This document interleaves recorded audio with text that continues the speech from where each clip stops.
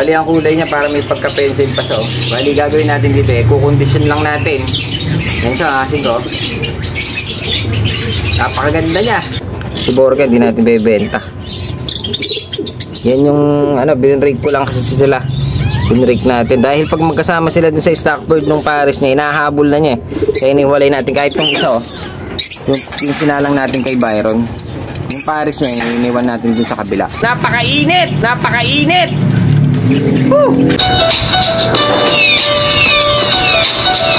Yan mga kasingko, napakainit! Woo!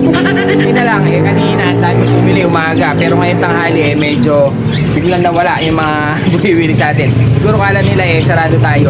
Kaya umaga pa lang eh nagsibilihan na sila. Buti na lang yung mga pigs natin mga kasingko eh, hindi pa natitinag.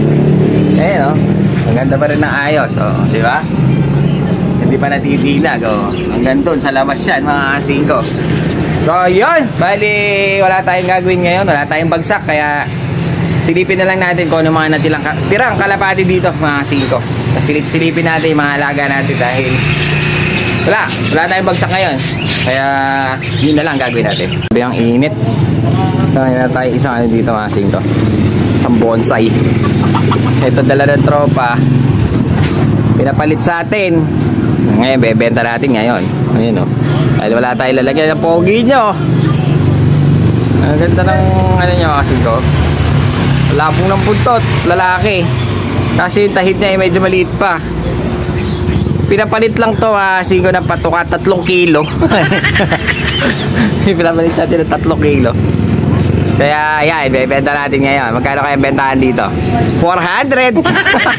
Tubulugaw tayo dito kasi ito, bawi. Bawi na naman. Ayan, pero yung palong niya, eh, kakaiba. Ayun, oh. Parang bulaklak. Rose comb. Oh, tawag nila dyan, oh. Parang bulaklak. Eh, kanina nakawala to. Nagtatatakbo. Medyo mailap pala. Ayan, oh. Ganda ng manok. Bonsai. Mga nag... Ito, pwede to sa mga nangangalapati. Pwede lang pakawalan doon sa loob nila sa ilalim. Ito yung magiging janitor nila mga singko. Ganda.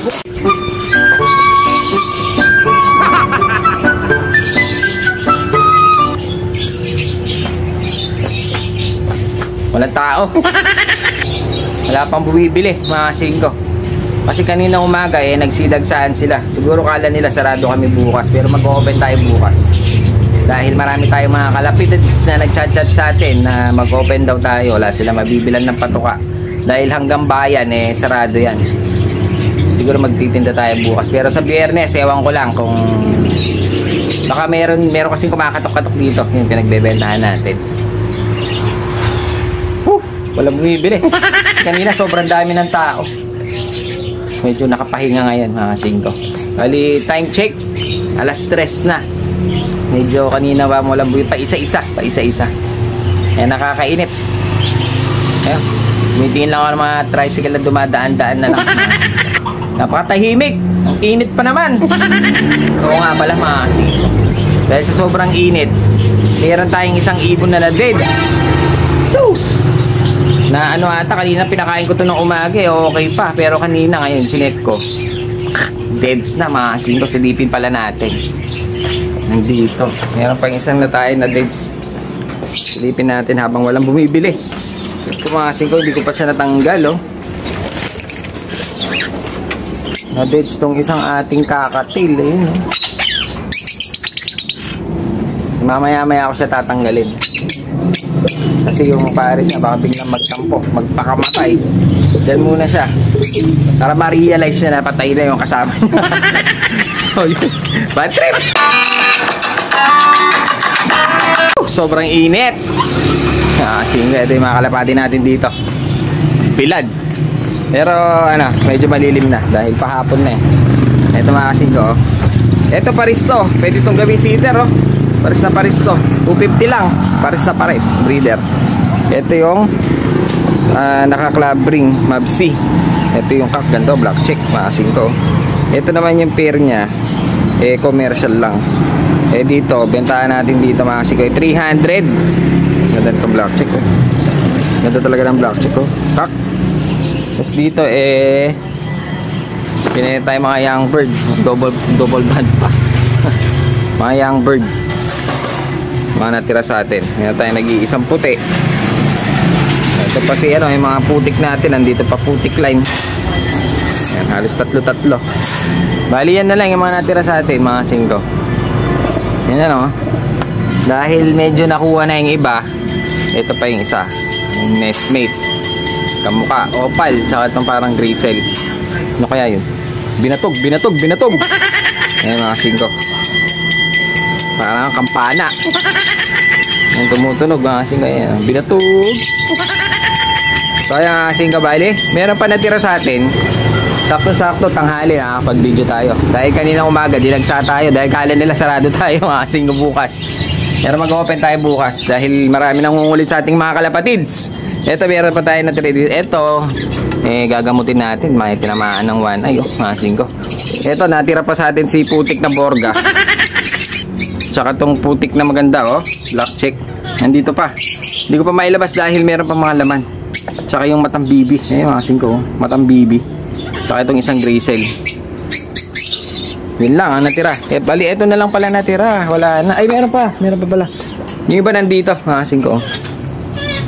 Ini-standby muna natin dyan dahil nga marami pang ano doon. Pag siksikan kasi nagkakasipon sila. Silipin lang natin dito yung mga stock natin. Ayan sila. Meron tayong dalawang pula oh. Mga singko. Ganda niyan. Solid red.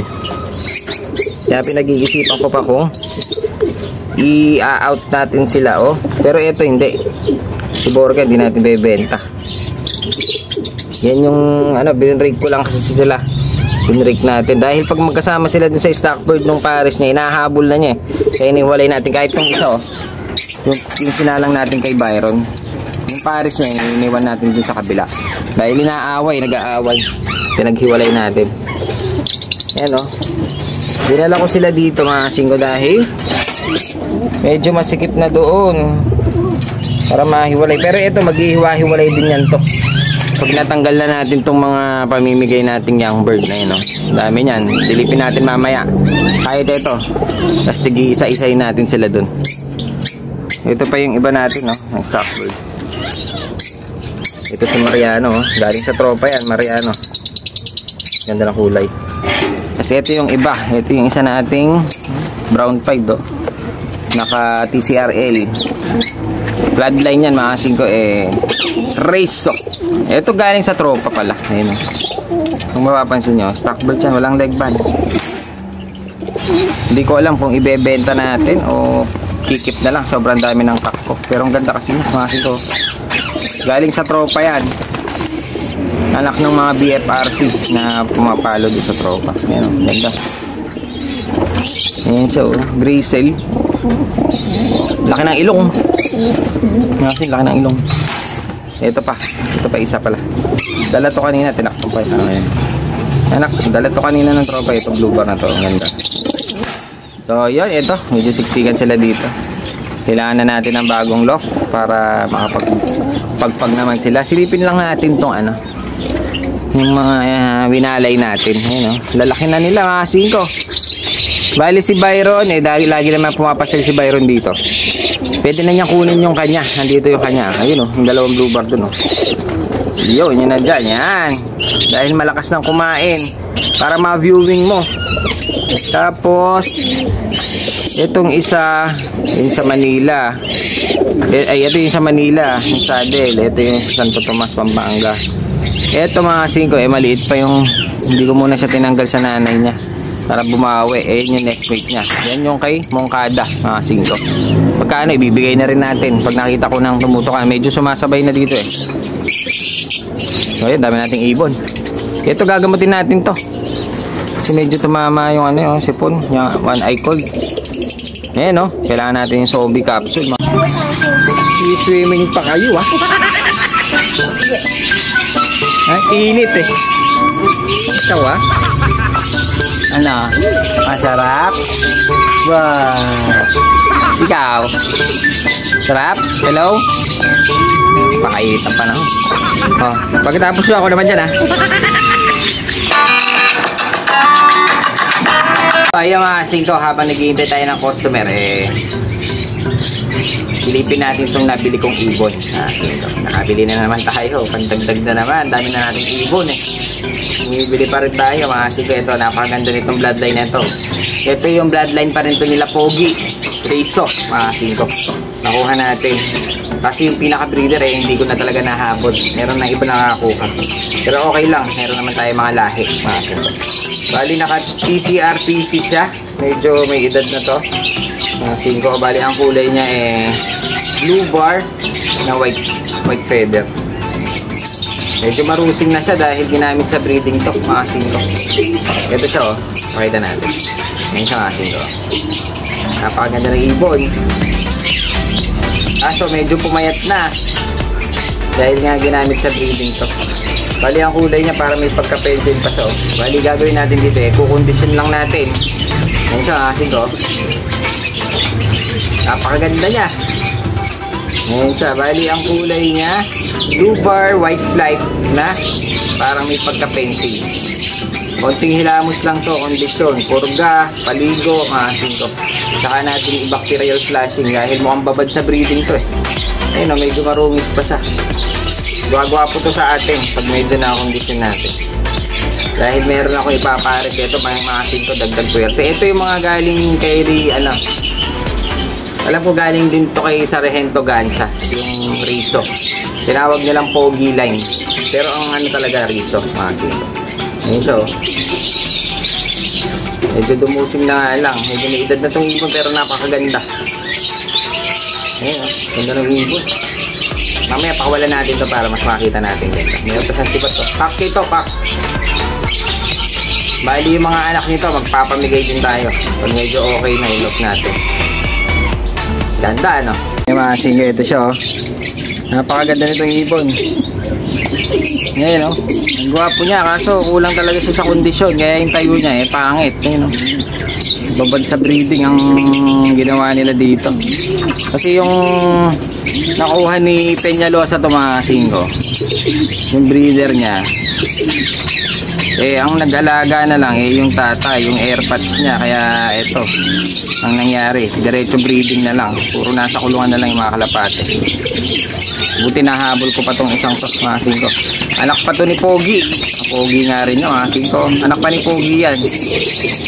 Yung Riso. Bale, gagawin natin talaga kukondisyon natin itong ibon. Ganda ng ibon eh. Sayang. Meron akong ipaparis dito. Dahil napakaganda niyang kak.